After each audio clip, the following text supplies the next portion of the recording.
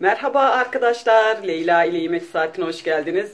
Evet bir Evim ve Düzenim adlı video ile karşınızdayım.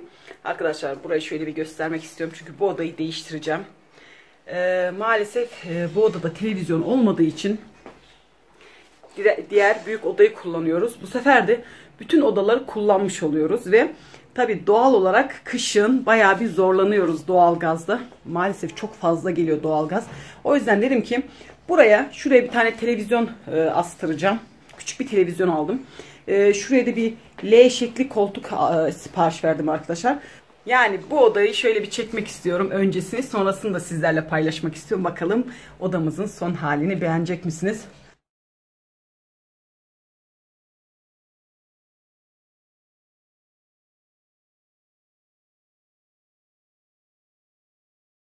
Evet küçük odamızı değiştirdik. Bakalım sizler de beğenecek misiniz?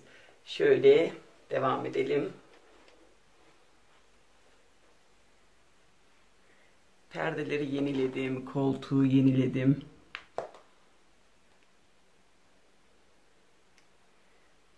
Televizyonu bu tarafa almak zorunda kaldık maalesef maalesef. Ee, televizyonu hani getiren firma kendi takıyor ya televizyonu.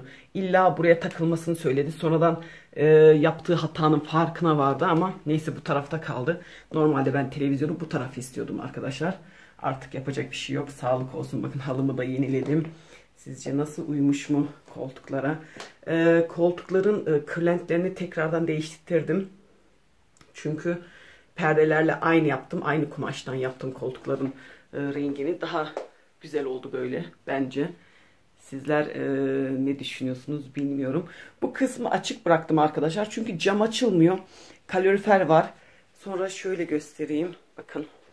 Şurayı alınca şuraya bir tahta yaptırdım. Hani böyle ben kar yağdığında camın önüne oturmayı çok seviyorum. O yüzden orayı kendime özel yaptım. Şöyle. Evet burada da masamız var. Birazdan masayı ortaya alacağım. Misafir geldiğinde masayı ortaya alıyorum. Misafir gidince böyle kenara çekiyorum. Hani kalabalık olmasın diye. Bu oda aydınlık olduğu için bu odaya geçmeyi tercih ettim. Şöyle şurada bir dolabım var biliyorsunuz. Bu dolapta da neler olduğunu videomuzda göstermiştim. E, mutfak eşyalarım var. Hani e, şey yok. Yatak döşek falan yok burada yani. Mutfak eşyalarımı koyuyorum. O yüzden böyle bir değişiklik yaptım. Umarım sizlerin de hoşuna gitmiştir arkadaşlar. Yorumlarınızı bekliyorum ama lütfen yorum yaparken şey olalım. Bazı arkadaşlar dedi işte şey kaloriferi oradan kaldır. Nereye koyacağım kaldırıp? İşte o hani şurayı kapatmalıymışım sırt kısmını. Orayı aslında yatak olarak ben yaptırdım. Hani hem misafirim geldiğinde hem burası yatak oluyor arkadaşlar. Hem bu taraf yatak oluyor. Misafirim geldiğinde bana da kolaylık olsun. Çünkü kız kardeşlerim falan gelince bende kalıyorlar. O yüzden benim için de çok kolaylık oluyor bu şekil. Ee, dediğim gibi şu sırt kısmını yaptırmadım. Hani açık bıraktım diye bayağı eleştiri aldım. İşte e, kaloriferi oradan kaldır başka tarafa koy veya camı oradan sök diyorlar. Nasıl yani nasıl yapabilirdim bilmiyorum. Hani onlar da biliyorum espri yapıyor. Herhalde şaka yapıyorlar. Ee, bu çiçekliği aldım sonra. Bu çiçekliği henüz üzerine bir şey koymadım. Neler koyabilirim bilmiyorum. Ee, şimdilik öyle oraya bıraktım. Şimdi masayı ortaya çekelim bakalım e, masayla birlikte nasıl görünüyor. Evet misafirim geldiğinde de masayı ortaya çekiyorum. Bir güzel e, çayımızı kahvemizi içiyoruz. Bunu da böyle köşeye koyuyorum. Bu sehpa çok işime yarıyor. Montaj falan yaparken. Kahve falan içerken de elimin altında güzel oluyor. Evet arkadaşlar salonumuz bu şekilde. Umarım beğenmişsinizdir. Vallahi çok böyle merak ederek yorumlarınızı bekliyorum. Ne olur çok fazla eleştirmeden böyle şey yapalım yorumları. Kırmadan dökmeden yapalım. Küçük bir oda sonuçta yani çok fazla bir değişiklik yapamazdım. O yüzden şöyle bir sizler için video çekmek istedim. Yani ben çok fazla şey sevmiyorum. Ee, süslü püslü şeyleri sevmiyorum. Hani böyle e, veya hmm, nasıl söyleyeyim ben ben rahatlığı seviyorum. Oturduğum koltukta gerçekten rahat edebil edebilmeliyim.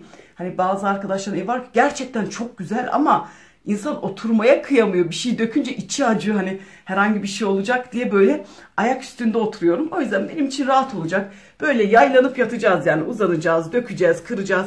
Yani eşyalar kullanılmak için vardır.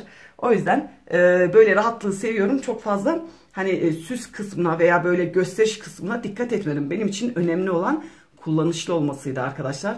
E, o yüzden böyle bir küçük odamı bu şekilde bir değiştirmek istedim. Gerçekten benim için çok kullanışlı oldu. Çok rahat oldu. Şimdi daha rahat daha rahat bir şekilde oturuyorum.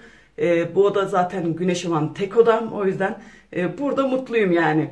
Evet videomuz burada bitiyor arkadaşlar. Umarım sizler de bu değişikliği beğenmişsinizdir. Böyle değişik arada videolar çekiyorum biliyorsunuz artık hep tarif olsun istemiyorum. Sizlerin de fikirlerinizi almayı çok seviyorum. O yüzden arada e, böyle dertleşiyoruz, sohbet ediyoruz. Bu, bu videoda burada böyle kalsın istiyorum. Bir sonraki tarifte görüşmek ümidiyle kendinize çok iyi bakın. Hoşçakalın.